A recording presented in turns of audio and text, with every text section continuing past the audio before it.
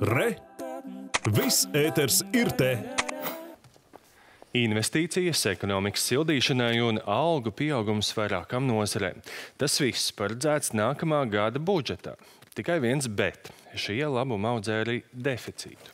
Arī valsts parāds pieaugs un eksperti brīdina jāuzmanās, lai budžeta naudu tērētu attīstībai, nevis nevienmērīgas attīstības finansēšanai. Plašāk stāsta Māris Klūga.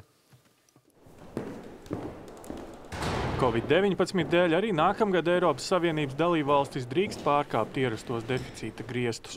Līdz ar to valdība nākamā gada valsts budžetā ieplānojas par vairāk nekā 1,7 miljardiem eiro lielākus izdevumus nekā ieņēmums. Tas nozīmē, ka deficīts būs 4,8% apmērā no IKP, savukārt valsts parāds varētu sasniegt 52%. Finanšu ministrs Jānis Reirs valdības sēdē teica, ka budžets ir veidots atbildīgi un sabalansējot nozares. Atvēlēt līdzekļi gan rūpēm par iedzīvotāju veselību, labklājību, gan arī naudu valsts attīstībai un investīcijām lai tuvinātu Latviju Ziemeļvalstu pārticībai. Vēl augustā Finanšu ministrija valdībā ziņoja, ka deficīts varētu sasniegt 3,8% no IKP, tomēr lēms to kāpināt, lai finansētu dažādus investīciju projektus, piemēram, dotu aizdevumus pašvaldībām un finansētu autoceļu atjaunošanu.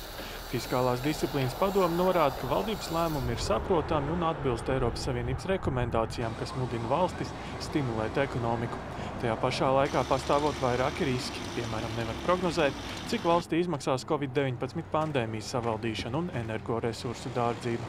Savukārt ieplānotās investīcijas varētu vēl vairāk kāpināt cenas būvniecībā. Tas, ko no budžeta nevajadzētu darīt, ir ar, ar teiksim, relatīvi lielu uh, budžeta deficītu, kas tiek plānots nākamgad, teiksim, veicināt ekonomikas uzsveršanu vai vēl kaut kādu teiksim, ekonomisko nesabalansētību veidošanos. Tas ir risks, um, un, un tāpēc mūsu aicinājums ir valdībai uzmanīgi šiem procesiem sekot līdzi un vajadzības gadījumā arī mainīt savus plānus.